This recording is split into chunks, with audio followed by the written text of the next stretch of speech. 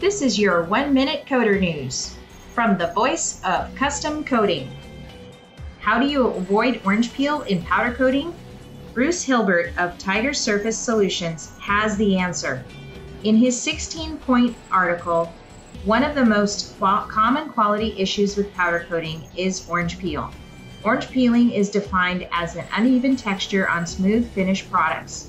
It resembles the skin of citrus fruit, hence the orange peel name. The level of orange peel is visibly determined by comparing to industry standards typically set by the Powder Coating Institute. Here are a few of the checkpoints.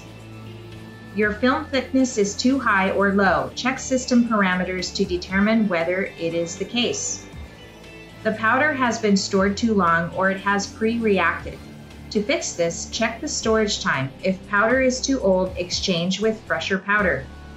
You're experiencing back ionization. Try reducing the voltage or increase the distance between the workpiece and the gun. The powder flow is too high. To correct, lower the powder feed. The coating time is too long. To correct, lower the coating time. You can find this article at tiger-coatings.com. And that's been your one minute coater news. See you next time.